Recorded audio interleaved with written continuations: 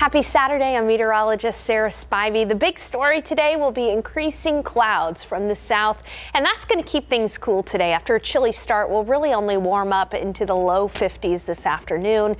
Mid 50s for New Braunfels and Austin, low 50s around San Antonio and up in the hill country.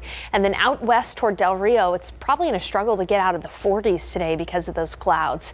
Now, it's going to stay cloudy through the weekend. Sunday is going to feature cloud cover as well. But by Monday, we actually have a chance for rain because of a trough of low pressure moving in from the west. That'll give us a good chance for scattered showers, especially during the first part of Monday. And then by Monday evening, that rain will be well to the east. And we could really use the rain because drought conditions are increasing around San Antonio. As far as rainfall totals, really only expecting about a quarter to half an inch of rain, but hey, it's something. All right, today, Saturday, mostly cloudy with increasing clouds. In fact, by the later afternoon, it could be completely overcast. At 10, we'll be at 38. 48. At noon, we'll be at 45 and 52 for the afternoon high. Tomorrow morning, Sunday morning, don't expect a freeze, but it will be chilly. Low 40s for the morning low. And then in the afternoon, once again, only 52 for the high. It's going to be completely cloudy Sunday, and then Monday we'll have that shot at rain.